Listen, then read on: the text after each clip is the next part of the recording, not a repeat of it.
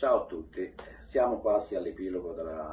nuovo contratto di lavoro. Ci arriva del testo oggi eh, da parte dell'ARAN, è un testo abbastanza corposo e eh, non fa altro che confermare quali erano le grandi perplessità eh, della CIMO e della FESMED. Ehm, considerate che dopo dieci anni le aspettative sono elevate, in questi dieci anni abbiamo eh, sostenuto il Servizio Sanitario Nazionale nonostante il forte depotenziamento dal punto di vista finanziario,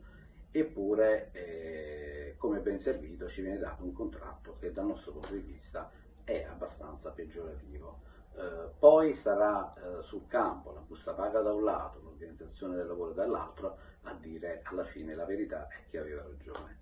Ad ogni buon fine, ci troviamo di fronte ad una penalizzazione delle relazioni sindacali che sono ulteriormente ridotte e quindi creano del disagio nell'ambito dei rapporti tra sindacati e le direzioni generali.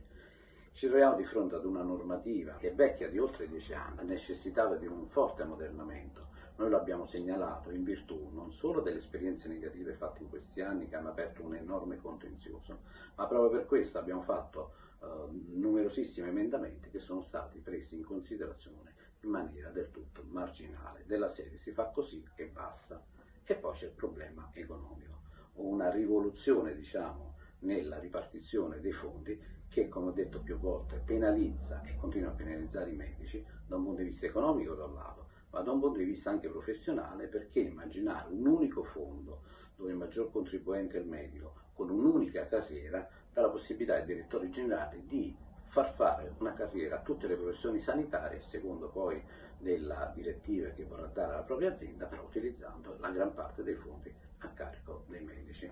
Ma questo non è sufficiente. Tutti dicono che mancano i medici, tutti dicono che non c'è possibilità, eh, che devono assumere eh, pensionati, lavori interinali, addirittura ci vuole l'esercito, i medici eh, militari per poter entrare in servizio sanitario nazionale Ebbene, con questo contratto si continua a penalizzare i giovani medici, soprattutto quelli che hanno meno di 5 anni, che hanno una retribuzione di posizione unica di 0 euro rispetto magari al dirigente infermierizio che inizia con 730 euro circa all'anno e con un dirigente sanitario di 303 euro. Ora non sono i 300 euro e i 700 euro, però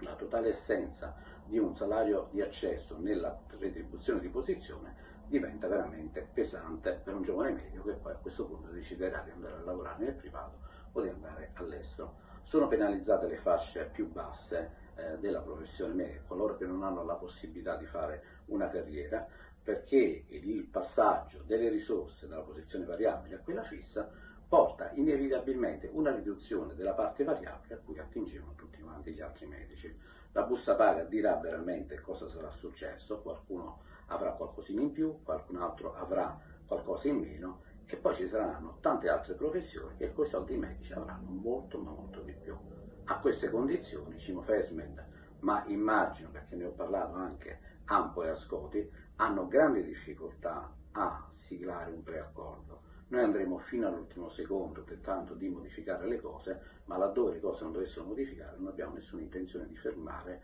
questa boiata di contratto.